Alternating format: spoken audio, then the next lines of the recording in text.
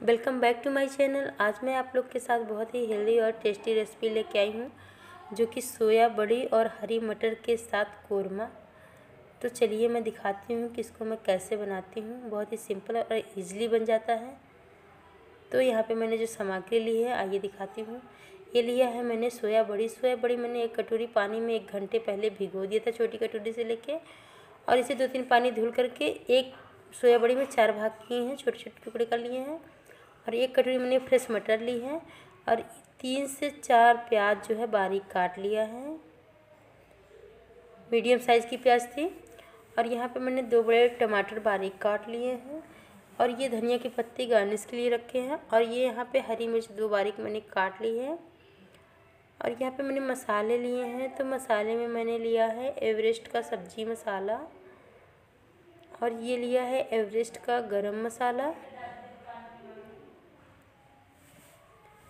और यहाँ पे मैंने हींग ली है और ये नमक लिया है। नमक जो डालते समय दिखाऊँगी। तो यहाँ पे मैंने और भी मसाले लिए हैं, जैसे कि ये लिया मैंने हल्दी पाउडर हाफ़ टी स्पून एक टी स्पून मैंने लाल मिर्च पाउडर और एक टी स्पून मैंने गरम मसाला, हल्का सा दरदरा घर में बनाया है।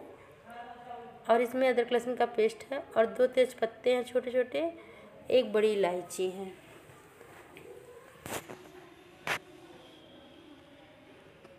तो अब इसे बनाना स्टार्ट करते हैं। यहाँ पे मैंने गैस को ऑन करना है ऑन कर दिया है। अब इस पर रखती हूँ कुकर। और इसमें मैं डालूँगी सरसों का तेल।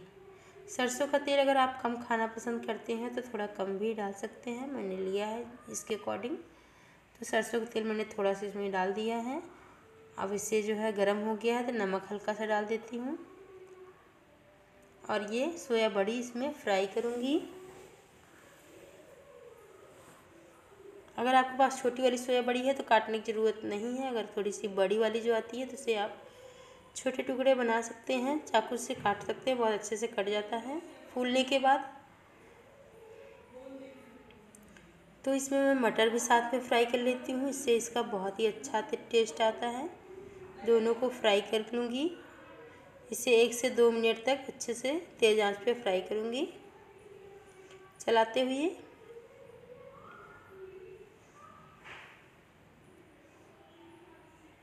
तो ये देखिए, फ्राई हो गया है। अब मैं इसे कटोरी में निकाल लेती हूँ वापस। तो ये देखिए, मैंने निकाल लिया है।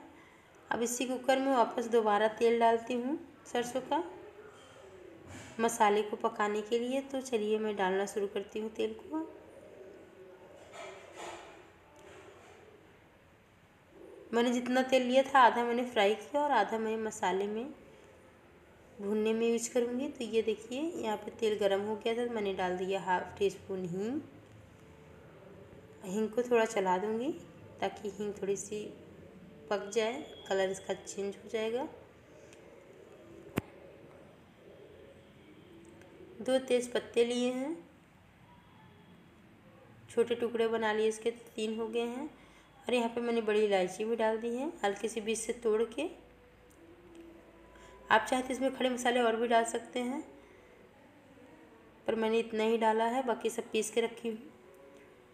और यहाँ पे मैंने लिया है प्याज, जो कि फ्राई करूँगी, डाल देती हूँ।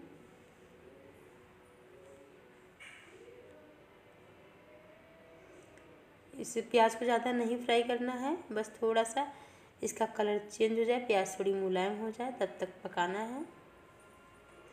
तो अब इसमें हरी मिर्च भी डाल देते हैं ताकि साथ ही साथ हरी मिर्च भी थोड़ी सी पक जाए।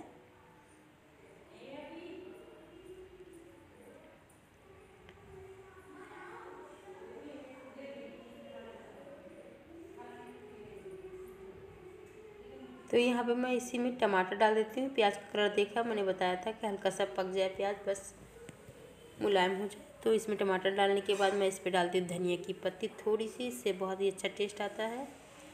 धनिया की खुशबू पूरी सब्ज़ी में बस जाती है। तो यहाँ पे मैंने लिया है सब्ज़ी मसाला। यहाँ पे ये है गरम मसाला।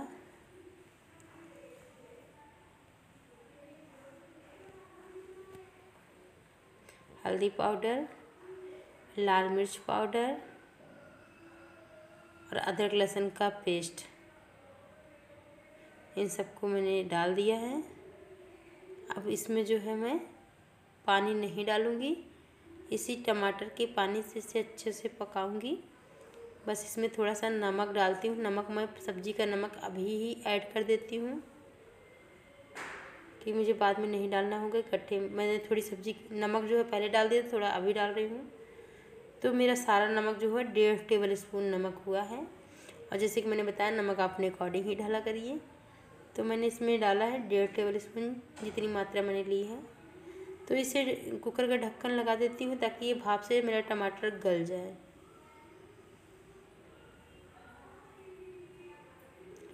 बंद नहीं करूँगी, बस रख दूँगी।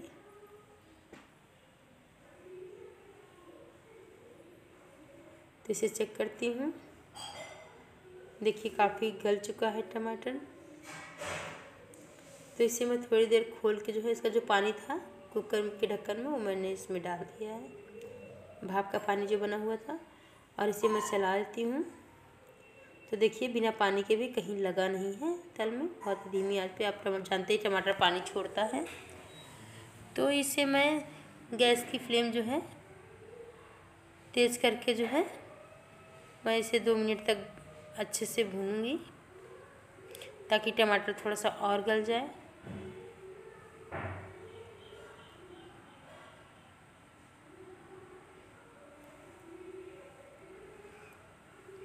तो अब मैं इसमें डालती हूँ सोया बड़ी और हरी मटर।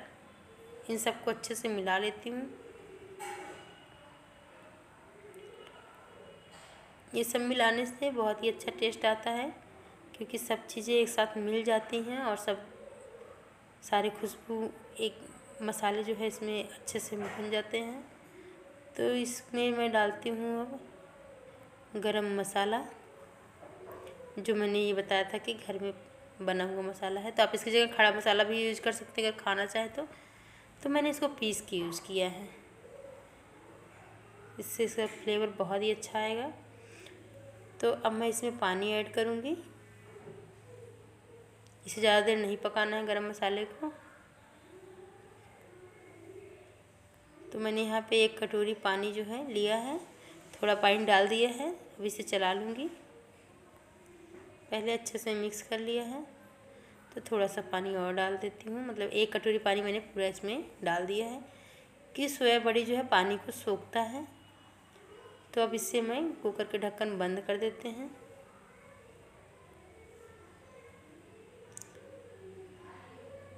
एक सीटी आने तक इसे पकाऊँगी।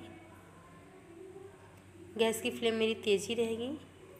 तो यहाँ पे सीटी आने वाली है। सीटी आ गई है। अब मैं गैस की फ्लेम बंद करती हूँ और गैस निकलने तक का वेट करती हूँ। तो देखिए, मेरी गैस निकल चुकी कुकर की तो इसे मैं खोलना चाहती हूँ, खोल रही हूँ। आप लोग को दिखाती हूँ कि कितना प्यारा कलर आया है इसका।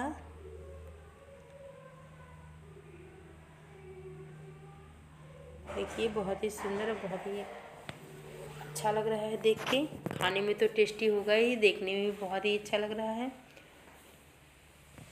तो अगर अभी तक आपने मेरे चैनल को सब्सक्राइब ना की हो तो प्लीज़ सब्सक्राइब कर लीजिएगा, ताकि इसी तरह से रेसिपी आप लोग को मैं डालती रहूँगी और आप लोग देखते रहेंगे। आप लोग के देखने से ही मैं इस तरह की रेसिपी और धीरे धीरे करके कई रेसिपियाँ डालूँगी। तो यहाँ पे मैं ऊपर से डालती हूँ थोड़ी सी धनिया की पत्ती। गार्निश कर देती हूँ, खाने के लिए बिल्कुल रेडी है तो इसे आप नान रोटी, पराठा चावल के साथ खाइए, बहुत ही टेस्टी होगा। अगर आपको मेरी ये बनाने की रेसिपी पसंद आई हो सब्ज़ी बनाने की तो मेरे वीडियो को लाइक कीजिएगा, चैनल को सब्सक्राइब कीजिएगा, ज़्यादा से ज़्यादा शेयर कीजिएगा। वीडियो देखने के लिए थैंक यू।